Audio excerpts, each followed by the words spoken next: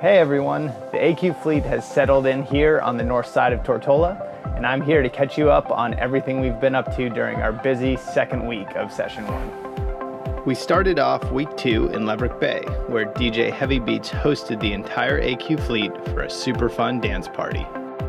Our Vega and Polaris students achieved a huge milestone and are now certified PADI open water divers, having completed their confined water and four open water training dives.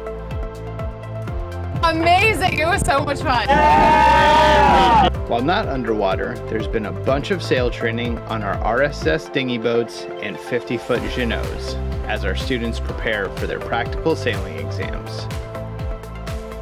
In addition to all the sailing and diving, we also fit in a ton of wakeboarding and water skiing and some other fun activities along the way. Over in our advanced diving fleet, our Neptune students have completed their advanced open water course and the first two dives of their Wreck Diver certification on the RMS Rhone and Fearless. The Dolphin students have started their research diver and underwater naturalist training while also completing squid dissections and reef surveys. Our rescue divers have continued their training, having completed some demanding surface rescue exercises and search and recovery dives.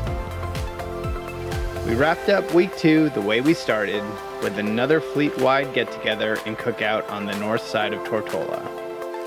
We're now in the home stretch of our adventure and we'll be back next week to let you know how the journey ends.